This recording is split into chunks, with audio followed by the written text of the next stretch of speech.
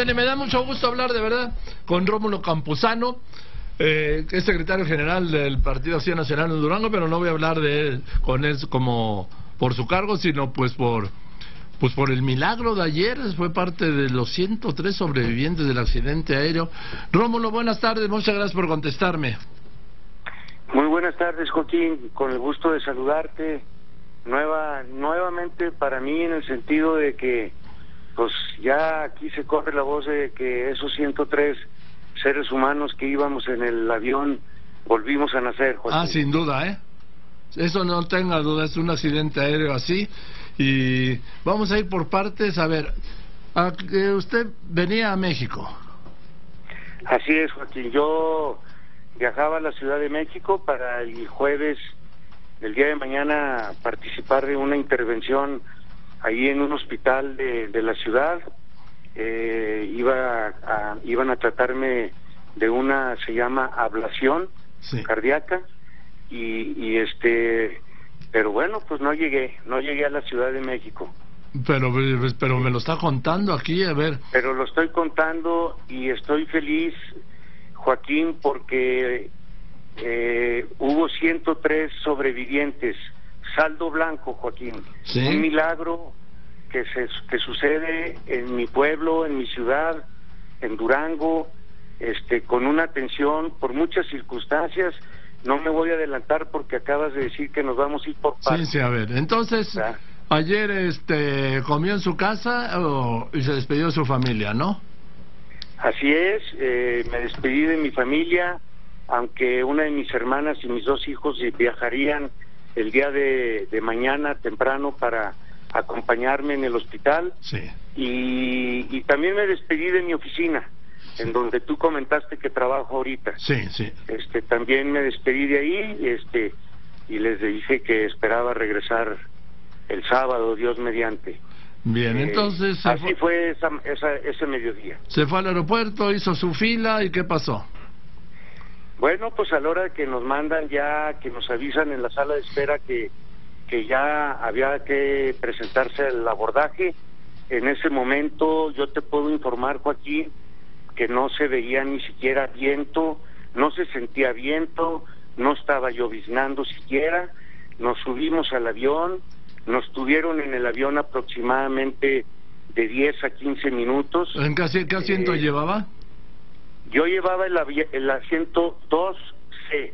Por una circunstancia, yo, yo, yo iba a viajar hasta el día de hoy, Joaquín, y me cambiaron el, el, el, boleto y me, me tuvieron que dar uno de clase premier, así que quedé pues prácticamente en la segunda fila. Yo estaba frente a la zapata que nos salvó la vida a muchas, a muchas gentes.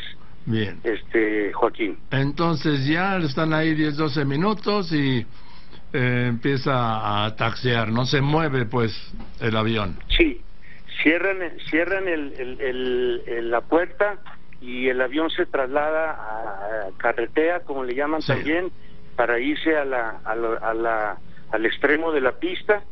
Y bueno, pues ya se nos avisa, ya ves todo el protocolo de, del uso de los cinturones de seguridad, las puertas de, de emergencia, todo, todo ese protocolo es, es siempre, siempre lo pasan. Yo sí soy de los pasajeros que usa el cinturón de seguridad ajustadito, no no apretado, pero sí ajustado.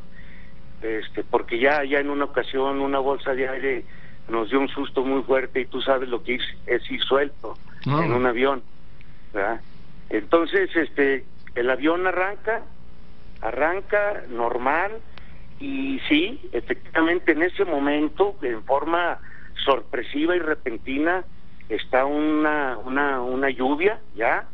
Cuando empieza, cuando el avión arranca, empieza a levantar la nariz eh, casi exactamente a la mitad de la pista frente a la torre de control y, y unos metros adelante el avión flota ya y a los instantes se oye un tronido muy fuerte.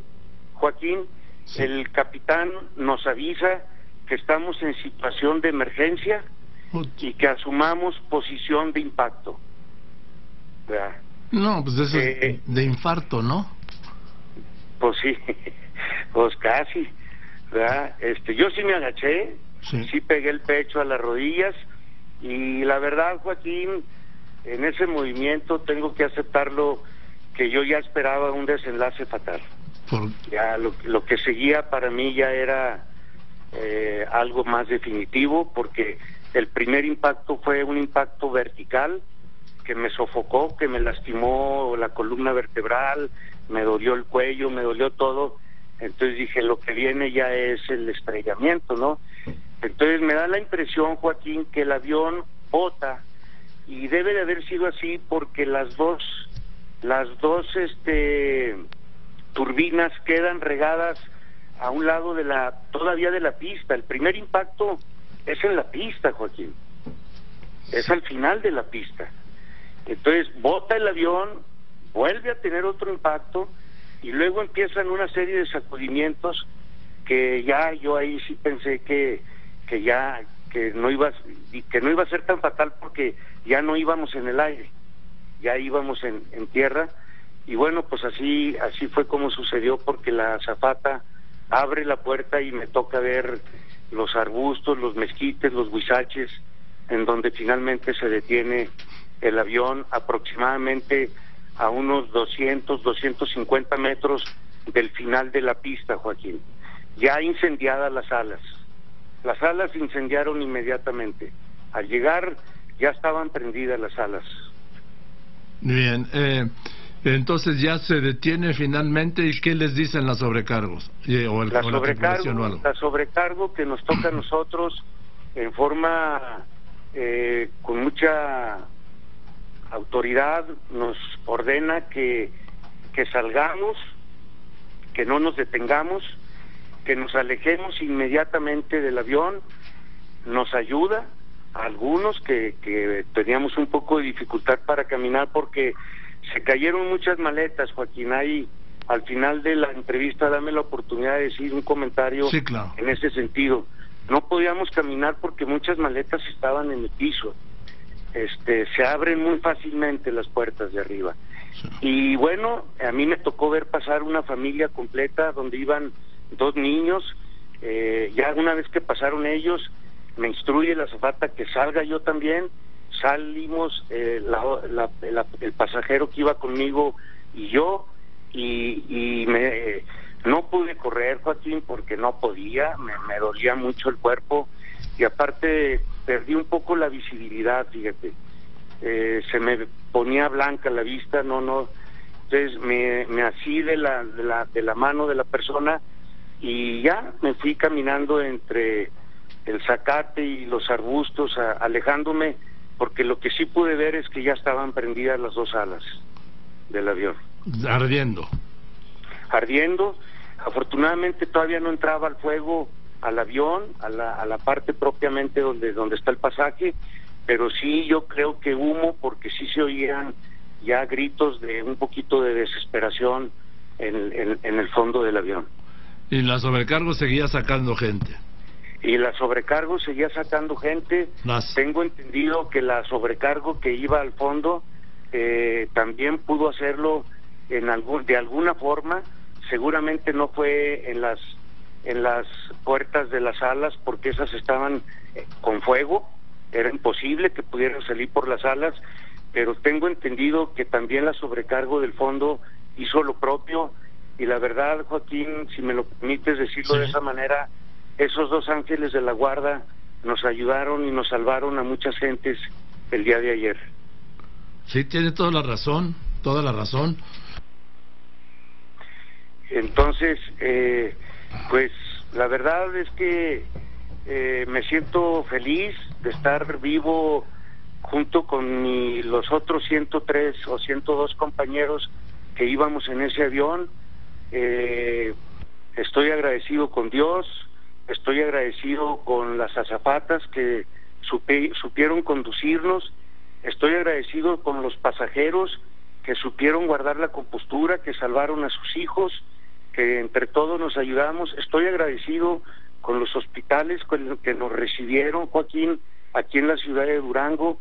Y bueno, si me lo permites, también estoy agradecido con mi gobernador que tuvo la atención de llamarme para preguntarme cómo estoy. Y finalmente hasta se dio el tiempo de venirme a saludar aquí al, a la habitación del hospital donde estoy. ¿Usted es creyente? ¿Les acordó de Dios en ese momento o no? Te voy a confesar una cosa. Yo pensé que me iba a morir. Por eso. Y, y sí, sí me... Pues así no vas como en el pensamiento, ¿no? Pues ahí voy, Dios. Yo comulgué el domingo, Joaquín. Yo fui a misa el domingo y le pedí a San Charbel, que soy este creyente de, de San Charbel, no sé si has oído hablar de... Sí, este cómo no, sí, sí, creo que es muy competente. Le llevé, exactamente, es un buen interlocutor. Y le llevé un listón porque esa es la costumbre, llevar ¿Y qué le pidió ese día en el listón? Yo le pedí por la operación que me ah. iban a llevar a cabo el día de mañana. Y mire, le, amplió, le, amplió, la cobertura. Me amplió la cobertura, San Charbel y Diosito también. Entonces, Joaquín, eh, tenemos motivos de sentirnos contentos y sentirnos orgullosos de una empresa que cuida a sus pasajeros y cuida a sus tripulantes. Estoy orgulloso, al menos yo puedo decir que estoy satisfecho como me atendió Aeroméxico. Bueno, pues yo hago el homenaje al piloto Carlos Galván, que está delicado, él sí. Está muy delicado y yo le pido a Dios que lo deje vivo y que lo deje en condiciones de una calidad de vida adecuada como la que todos a la que todos queremos vivir, Joaquín. El copiloto Daniel Dardón. El Daniel, a él me tocó compartir la camioneta que nos llevó a las oficinas del aeropuerto. Nos fuimos juntos, eh, iba muy traumatizado. Sí. Eh, yo creo que pues ellos saben lo que ellos saben más que nosotros qué fue lo que pasó y y lo que pudo haber pasado, Joaquín, y la verdad es que mis respetos para esa gente, ¿eh? este, se portaron a la altura de las circunstancias. Y las sobrecargos Brenda Zavala y Samantha Hernández. Las dos, ¿eh? unos ángeles de la guarda. Ojalá que la empresa les sepa reconocer el esfuerzo y la valentía de esas dos muchachas que se quedaron hasta el final. Creo que una de ellas inclusive perdió los zapatos y anduvo trabajando descalza. Descalza ahí en medio del zacate y todo. Yo vi el zacate, te quiero decir que un zacate no muy agradable porque no, no, no. había, pues, había gatuños, había espinas y la muchacha como si nada, ¿eh? ella, este, mis respetos para esa gente. Pues los míos también, Rómulo, ya hablaremos después, este Anoche que no pudo dormir o sí durmió. Pues me sí me me, me, ¿Le ayudaron, me sedaron, me sedaron pues este, estuve con mi familia, con mis hijos, este y muy agradecido, insisto, con con Dios, con la suerte, con lo que sea que se le pueda llamar de seguir aquí. Y, y bueno, pues con el compromiso, Joaquín, porque si nos quedamos aquí, pues porque tenemos algo importante que hacer. ¿No crees? Yo estoy convencido. Si uno la libra... una de esas es conocerte, porque pues nomás por tele te veo. Bueno, pues pues ya nos veremos y, y lo felicito y y yo sí, alguien tiene que ocuparse de hacer un homenaje a esta tripulación, ¿sí? sí claro no es a México, que es el gobierno del Estado, que sean ustedes los pasajeros, en fin, alguien, porque si no es por ellos, esto hubiera sido, insisto, una tragedia y quizá no estuviéramos hablando usted y yo hoy. Muchas gracias, Joaquín, por, por considerarme eh, y bueno, pues nuevamente, como lo comento, ojalá que los ingenieros que se dedican a diseñar los aviones busquen eh. la forma de que las portezuelas donde guardan el, el, equipaje de mano de los tripulantes, de los, de los pasajeros, que sean más seguras y no se abran tan fácilmente, porque al primer golpe prácticamente se vaciaron sobre las cabezas de los pasajeros e invadieron casi totalmente el pasillo, Joaquín. Lo que podía haber sido fatal por el bloqueo. Pues no podía caminar la gente, pues vas vas caminando y ni modo recoger tu maleta con un avión incendiado, porque lo que quieres es salvar la vida. Así es, sí. Bueno, Rómulo, pues ese es un buen punto el de el equipaje de, de mano, porque sí se puede convertir en una trampa mortal. Así es, sí, señor. Y lo que pues, podía haber sido, como fue un milagro, se podía haber convertido en una tragedia, quizá por ese bloqueo, ¿no? Así es. Bueno. Así es, pues muchas gracias nuevamente, Joaquín. Al contrario, felicidades, Rómulo. Gracias, un abrazo, señor. Igualmente, Rómulo Camposano, sobreviviente de este, de este vuelo